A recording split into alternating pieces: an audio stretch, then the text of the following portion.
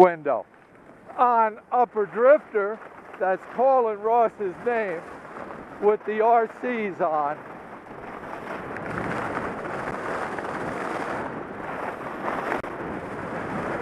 Now he's cutting some pretty good groups.